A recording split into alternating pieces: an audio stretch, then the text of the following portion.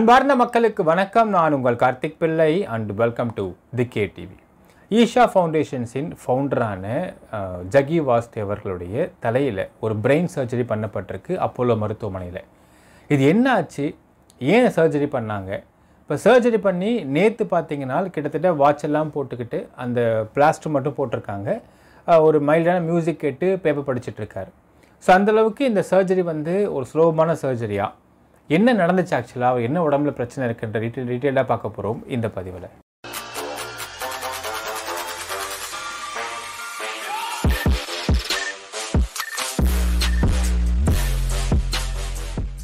March இருபது ரெண்டாயிரத்தி இருபத்தி நாலு டாக்டர் வினித் சூரி அப்படிங்கிற ஒரு நியூரோ சர்ஜன் ஃப்ரம் அப்போலோ மருத்துவமனை டெல்லி. ஸோ இவர் தான் வெளியிடுறாரு என்ன நடந்துச்சு அப்படிங்கிற விஷயத்தை பற்றி என்ன சொல்கிறார் இவர் அப்படின்னு பார்த்தீங்கன்னா ஸோ ஜகி வாஸ்தேவ் அவர்கள் ஈஷா ஃபவுண்டேஷன்ஸுடைய ஃபவுண்டர் என்ன பண்ணியிருக்காரு கிட்டத்தட்ட ஒரு நான்கு மூன்று வார காலமாகவே தலையில் பயங்கரம் வலி அனுபவிச்சிட்ருக்காரு.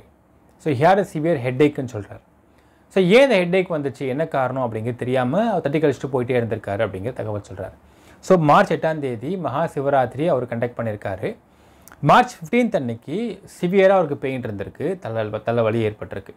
ஸோ அப்போ தான் இந்த வினித் சூர்யா அப்படிங்கிற நபர்கிட்ட பேசி இந்த மாதிரி ரொம்ப வலிக்குது என்னென்னு தெரியலன்னு கேட்டப்போ அவர் ஒரு எம்ஆர்ஐ ஸ்கேன் பண்ண சொல்லி கேட்டிருந்திருக்கார்.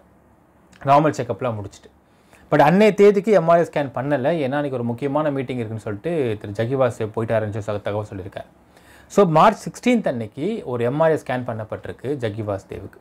பண்ணப்பட்டிருந்தப்போ தான் அவருடைய தலைக்குள்ளே பிரெயினில் ஒரு சிவியரான பிளட் ஃப்ளூயிட் லீக் ஆகிட்டு இருக்குன்றது தெரிய வந்திருக்கு ஸோ ரத்த கசிவு ஏற்பட்டிருக்கு தலைக்குள்ளே பிரெயினில் எங்கே ஏற்பட்டிருக்குன்னு பார்த்தா பிரெயினுக்கு உள்ளேயா அப்படின்னு கேட்டால் இல்லை பிரெயினுடைய அவுட்ரு பிரெயினில் ஏற்பட்டிருக்கு.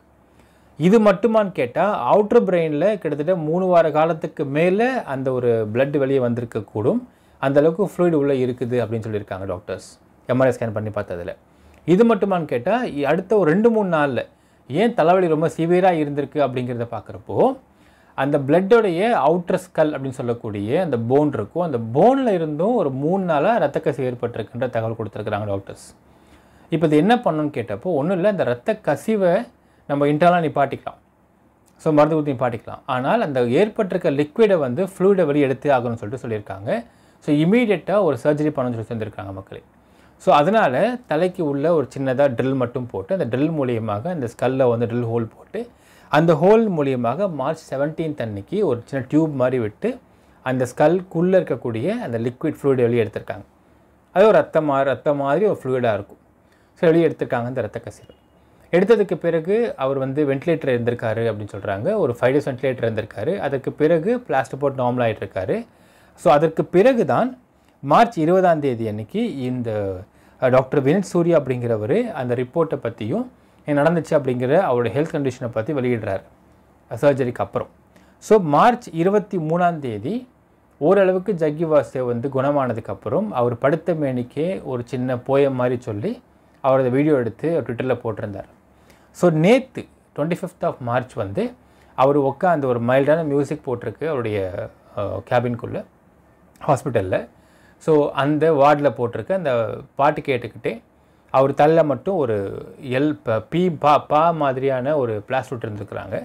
So he was reading newspapers newspaper படிச்சுட்டு இருக்கார் இப்போ இது எப்படி இப்போ ஆக்சுவலாக இந்த ஃபோட்டோவையும் இந்த வீடியோவையும் பார்த்த உடனே சந்தேகம் ஃபஸ்ட்டு வந்திருக்கும். என்னது இது? ஒரு ஹெட் சர்ஜரி பண்ணியிருக்காங்கன்னு சொல்கிறாங்க அப்போது முடியை கூட ஃபுல்லாக ஷேவ் பண்ணாமல் இருக்காங்களே அப்படின்னு சந்தேகம் வந்திருக்கும் மக்களே. நமக்கு சந்தேகம் நமக்கும் வந்துச்சு. ஏன்னா ஒரு ஹெட் சர்ஜரி ஹெட் சர்ஜரி அதுவும் மூளைக்குள்ளே ரத்த கசிவுன்னு சொல்லி வெளியிடுறாங்க. எப்படி வந்து முடியை கூட ஷேவ் பண்ணாமல் தாடி அப்படியே இருக்குது அவருக்கு தள்ள வந்து முடியெல்லாம் அப்படியே இருக்குது அப்படின்னு பார்க்க கேட்குறப்ப சொல்கிறாங்க so we consult uh, with neurosurgeon அவரும் சொல்கிறாருன்னு பார்த்தீங்கன்னா இந்த இரத்த கசிவு அப்படிங்கிறது ஒரு விசித்திரமான வினோதமான இல்லை பயப்படுற மாதிரியான ஒரு நோய் கிடையாது. ஒரு பிரச்சனை கிடையாதுன்றாங்க. இது ஏன் ஏற்படுதுன்ற அடுத்து சொல்கிற மக்களே. இந்த ஒரு பிரச்சனை அப்படிங்கிறது வயசாக எல்லாருக்கும் வரும் அப்படிங்கிறாங்க. அது ஏன் வருதுன்னு பார்த்தீங்கன்னா வயசாக வயசாக நம்ம மூளையோடைய அளவு சுருங்க ஆரம்பிச்சிட்டே இருக்கும். சுருங்குறப்போ ஸ்கல்லேருந்து மூளை தனியாக சுருங்கி வரப்போ அந்த ஸ்கல்லுக்குள்ளே ஒட்டிகிட்டு இருக்கக்கூடிய அந்த ஒரு நர்வஸ் சிஸ்டம் வந்து பிரேக் ஆகும். அந்த நர்வ்ஸ் வந்து டேமேஜ் ஆகிற சமயத்தில் உங்களுக்கு ரத்தம் வெளியே கசிய ஆரம்பிக்கும் அப்படிங்கிறாங்க. ஸோ ஏஜ் ஃபேக்டரின் காரணமாக ஜக்கி வாசுதேவுக்கும் மூளை சுருங்க ஆரம்பிச்சிருக்கும். அது சுருங்க சுருங்க கொஞ்சம் கொஞ்சமாக அந்த நர்வஸ் சிஸ்டம்ஸ் பாதிக்கப்படும். அதனால தான் இந்த ஸ்கல்லுக்கும் அங்கே ஸ்கல்ல வந்து ஆட்டோமேட்டிக்காக ஒரு நர்வ்ஸ் பாதிக்கப்பட்டிருக்கும். அதே மாதிரி மூளைக்கு நர்வ்ஸ் பாதிக்கப்பட்டிருக்கும்.